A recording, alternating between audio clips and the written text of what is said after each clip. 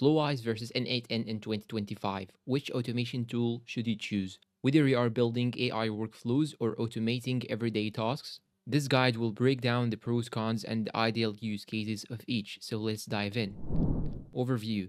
First, let's start with the basics. Flowise is an open source visual tool specifically built for creating LM-based AI agents using tools like LangChain. It is tailored for AI beginners and developers working on chatbots, retrieval based agents, and more.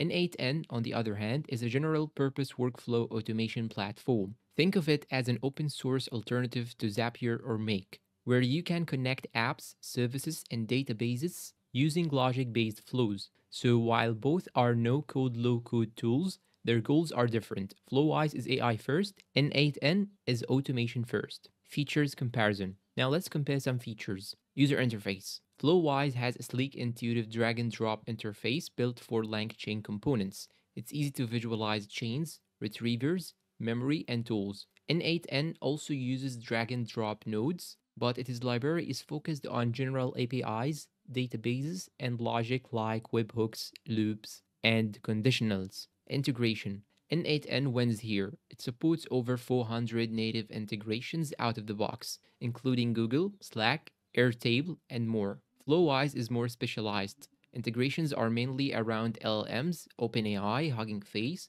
vector stores, and embeddings. AI capabilities. Flowise is purpose-built for LLM chains. You get real-time conversation handling, memory modules, and support for custom tools. While N8N can integrate with AI APIs, it is not optimized for building agents or chaining prompts. Final verdict. Choose Flowise if you are building AI workflows, bots, or anything LangChain powered.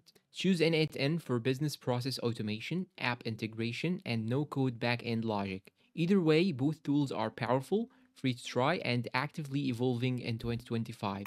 Which one are you using? Drop down below in the comments. And thank you for watching guys and see you in a new video.